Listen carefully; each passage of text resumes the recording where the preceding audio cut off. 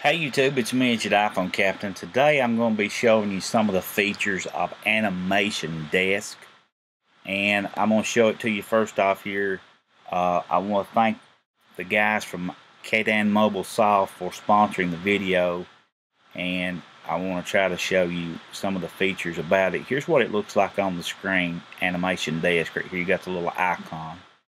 And if you go to your app store and you type animation desk. Okay it'll open up right here. You see got, I've already got it installed but it offers several things. And if you've used it on the iPad or the iPhone then you're going to be right at home because pretty much the same exact thing. And any files that you have created on the iOS devices you can import those straight into the uh, Mac application and as you can see it sells for $6.99 uh, some of the features it offers first of all you see on the screen you can change the color of the screen and all that. We'll get into that but first you got your project here. We're going to create new but we're not going to do that. I'm going to show you some of the things I've already created so you can crack up when you see my drawings. And if I were to hit play right now it would play through the nine different frames that I have right here selected. And uh, let's go ahead, first of all, and let's click open and I've got animation te animation test and that would be what's on the screen up here at the top if we were going to edit something we could add a frame duplicate a frame delete a frame or start dictation. Maybe we want to speak while the application is actually playing. If we wanted to open our projects that we had saved or play one of them, we could simply do that from right in here too. All we would have to do is open it and click play and you see it would start going through to let us know what frames were inside that.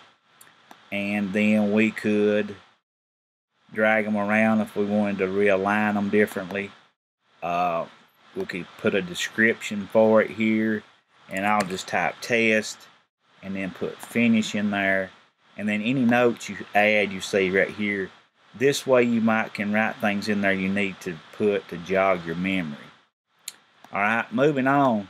If we wanted to edit this like I said you can add frames add a new frame right here and if I did hello and please understand I'm using the track my trackpad on my MacBook Pro. So now we've got hello and now we got 10 frames. And you see this little navigation bar down here on the left side?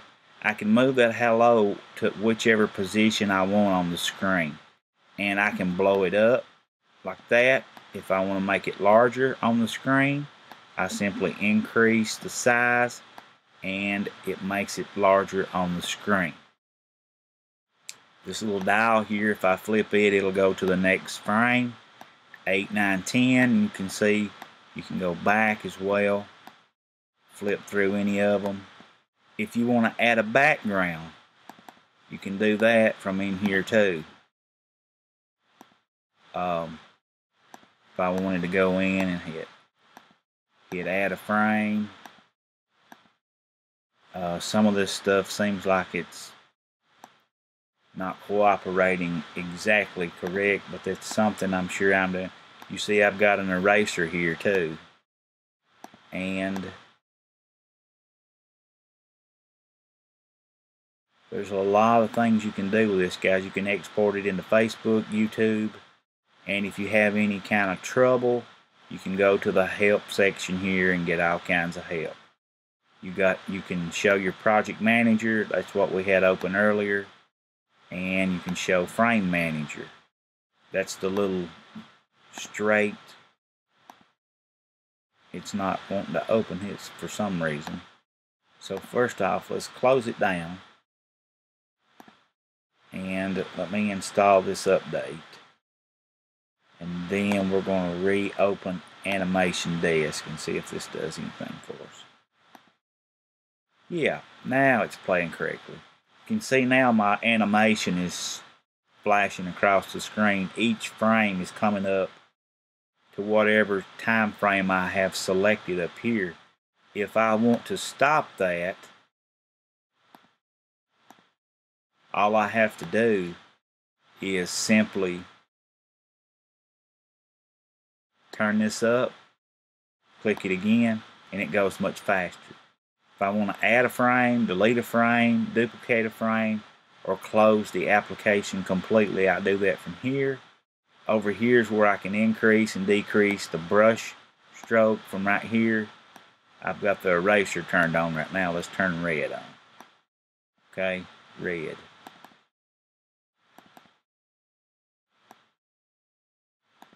Turn the eraser off. Turn my pencils on. Okay, now I've got my red. And there's a lot you can do with this, guys, if you know what you're doing. And let me show you what I mean by that. If I go to Anazone, this is a place for animation desk users.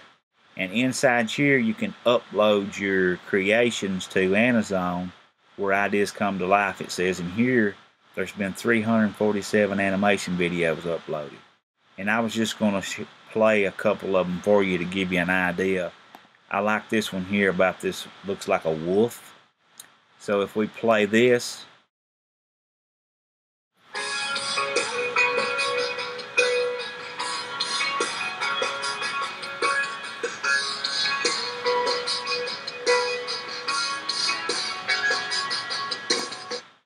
see you can do a lot of creative things with it. And the next one here wolf animation test.